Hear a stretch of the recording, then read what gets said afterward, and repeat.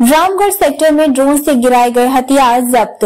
सांबा 2 सितंबर। सीमा सुरक्षा बल BSF, police घटक जम्मू और सांबा पुलिस द्वारा संयुक्त तलाशी अभियान में सांबा ज़िले के रामगढ़ सेक्टर में सीमा पार से ड्रोन द्वारा गिराए गए संदिग्ध तीन पिस्तौल बरामद किए गए।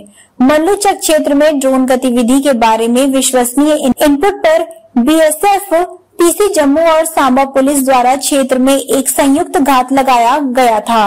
पाकिस्तान की ओर से आ रहे ड्रोन की गुनगुनाहट की आवाज़ सुनने पर सुरक्षा कर्मियों ने गुनगुनाहट की आवाज़ की दिशा में कुछ राउंड फायर किए और ड्रोन को वापस पाकिस्तान की ओर ढकेल दिया।